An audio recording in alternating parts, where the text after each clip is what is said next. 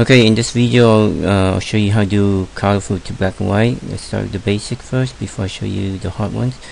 Go into uh, polygon shelf here. Click on this one. I'm going to draw a uh, polygon plane. Okay, so now make sure it's selected. Hold down Shift T to open the uh, new material panel. Click on blend. Now scroll all the way up. Here's where the color is I'm going to click on the checkerboard and find a picture go file. And then make sure you're in the file tab right here file and click the yellow folder. I'm going to pick a uh, Omega Supreme right there. So now if I press 6 on my keyboard I should be able to see it. I'm going to click this icon here to hide the uh, grid. Okay now I'm going to open Hypershade and then I went to custom and to create any of these icons custom shelf to create any of these icons I hold on control shift and go window rendering editor go hypershade click it once and let go. Okay so once you let go you see these icons. So these I create them using the same method control shift and click and then click on whichever menu. So here's my hypershade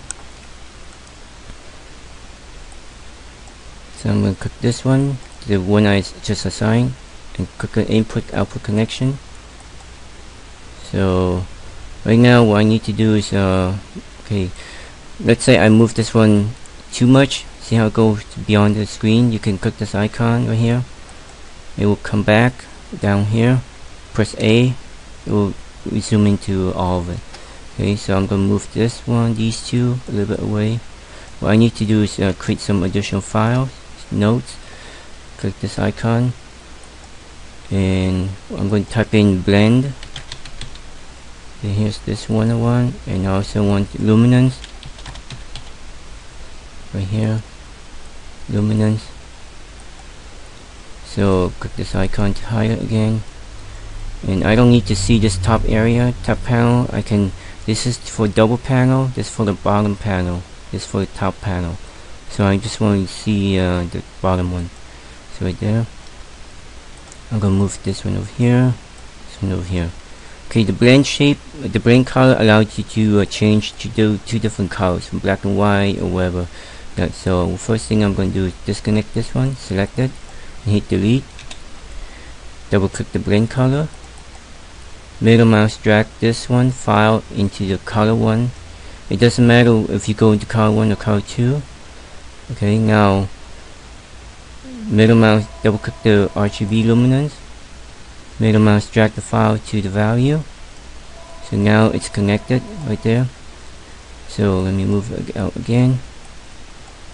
So now what I want to do is double click on the blend color and attach the, the RGB this one allows you to, to, to convert uh, color image to black and white. So I'm going to minimize this one to the color number 2 okay now it opens up. It doesn't know what to do that's because um, this one is a single value whereas color is a triple value. So you need to select this one and click each one of them okay? So when you see uh, italicized that means connected close it. So now last will be let me rearrange it. So now last will be middle mouse this middle mouse drag this one over here and choose color so now it's connected. So I can make I can make sure you double click on this to open the blend color attribute minimize this so oh by the way if you see this in back uh, quality let's go open the hypershade again. Double click the blend. Scroll all the way down until you see hardware texturing. Make sure you go from none to color. Okay now if you go color it's really blurry so you under texture resolution you pick uh, 256 so now it's clear okay? So let me go back to right here blend colors. Or you can double click this icon here. So if I move the slider over you see it's black and white. I can hit render render now. It's rendered okay? If I move it over to here it's colored. So right there is colored so one half is color if I move it over here render again it's black and white. And that's how you can change um, any object or not just an image to um, black and white okay? And vice versa. Okay now um, for the file I created earlier this one the TV color don't save okay this one is a sequence of images all I did was I, I animated some object let me show you how to do it you can uh, take a AVI file and convert to a sequence of Im images. Maya will not accept AVI or QuickTime or XVID. It has to be a sequence of images. Okay, so you can use VirtualDub to convert your AVI to a, a sequence of images. In Maya, if you want to render out a sequen sequence of images, I'll show you right now how. Let me create new file. Don't save. Okay, let's let me try. Uh, create a polygon plane again. I'm going to create a sphere. I'm going to hit W to move up. 5. Right now it has no color. You can select it. Shift T. Click on the blend. Scroll all the way up. I'm going to double click on this color swatch. Let's say pick red. Done.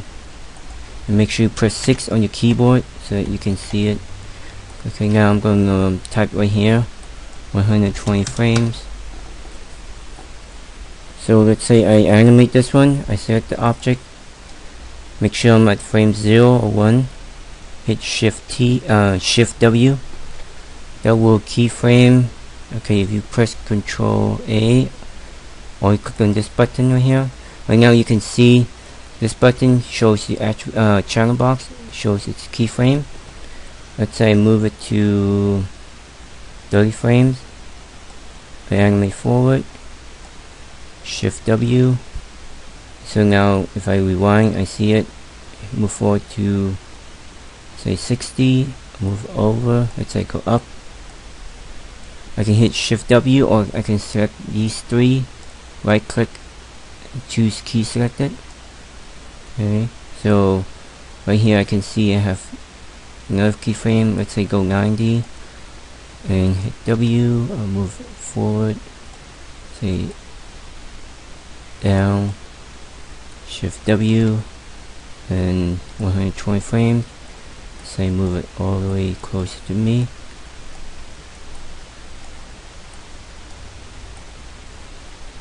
like that and shift W. So if I rewind that's what I have. Okay remember if you want to go back all the way to the beginning of the keyframe hold, hold on. Uh, shift alt shift V. It will go back to frames 1 okay or 0 alt shift V there it goes back. And shift V is to if you hold down shift V it should work. I'm sorry alt V is to play forward okay right now it's going too fast because I have it play uh, every frame. If I click on this little guy here look like a person running. Right now under time slider I have it play every frame. I should have 24 frames. See save.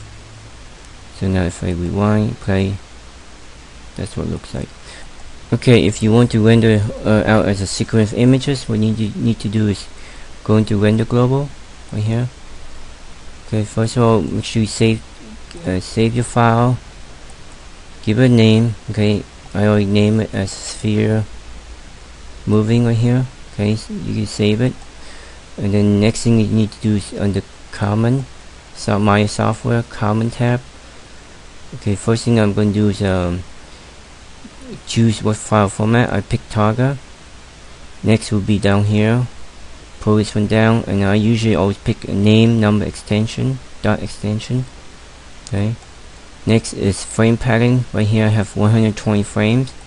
So that means I have 3 digits. So I pick a frame padding as 3. Next is will be start frame from whichever, 1 or 0. And I want the end frame to be 120 frames. And then this tell me which camera I want to render from, perspective, what size, 640 by 480. Let's say I keep it that way. And hit close. And if you want the best quality you click on right here production quality okay?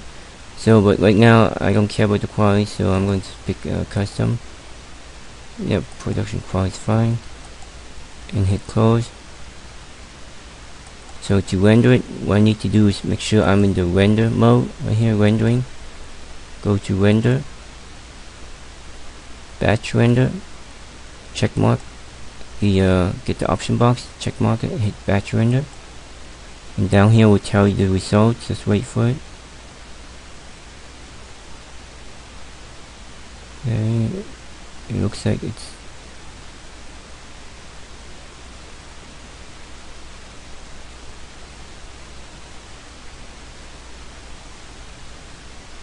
it's almost done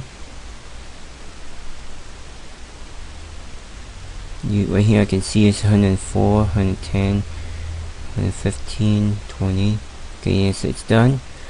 To see the uh, batch render you go to render show batch render. If you go file open image that will only show one image. You want this one animation to show a sequence of images.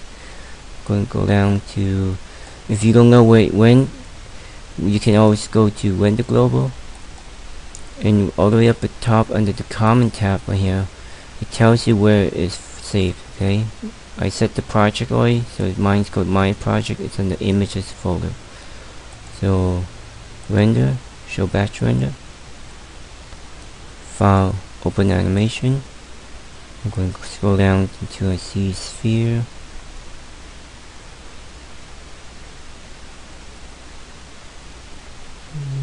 Sphere moving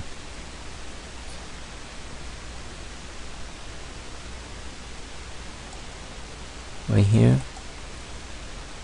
Open it. So that's a sequence of images okay?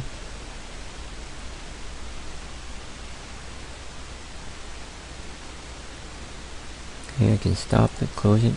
Now let's say if I want to um, let's say I create an object.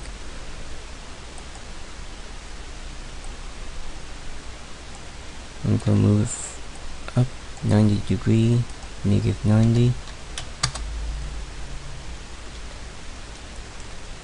hit W to move up. I can add more subdivision select the polygon plane highlight these two middle mouse drag it. Okay now let's say I want to assign an image to this one. I can go back to uh, custom hypershade